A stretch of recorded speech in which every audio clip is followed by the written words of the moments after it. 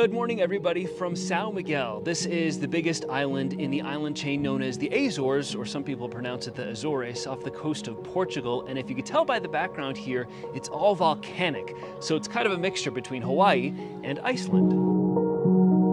The western part of Sao Miguel is famous for its hiking trails around a series of volcanic lakes. You have to time your visit here to avoid the fog because this is what happens when the fog moves in, totally obscuring the stunning beauty of the volcanic landscape below.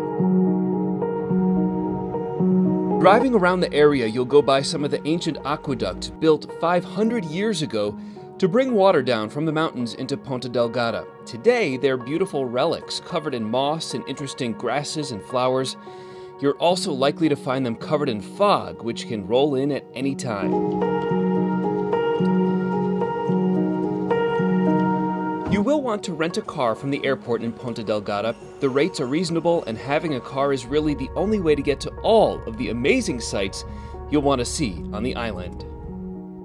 It may look really mountainous here, but you'll find hiking trails for all ability levels.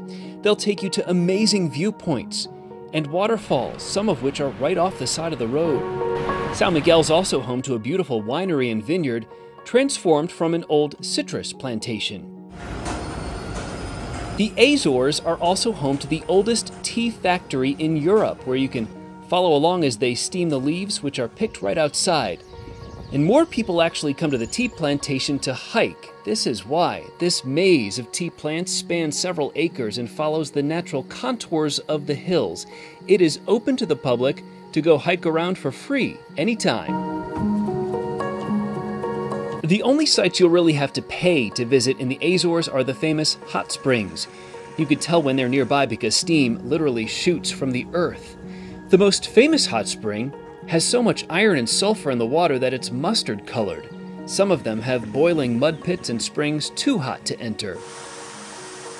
Here is a real Instagram versus reality moment for you. These hot spring pools may look serene and inviting, but the reality is they are crowded it's a bit too much of a communal bathing experience for me, but the European tourists love them.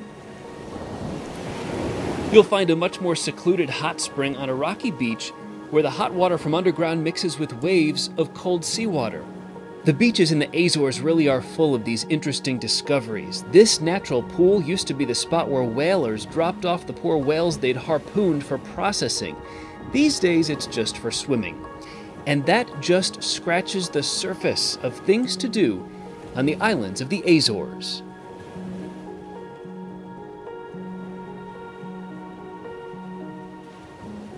Well, the Azores are becoming much more popular with American tourists. Right now, we have direct flights here from both Boston and New York City. It's about a five hour direct flight from the East Coast, so not too bad. As for when to come, I would avoid the summer months because it's way too crowded. I'd aim for maybe May or September. I'll see you next time.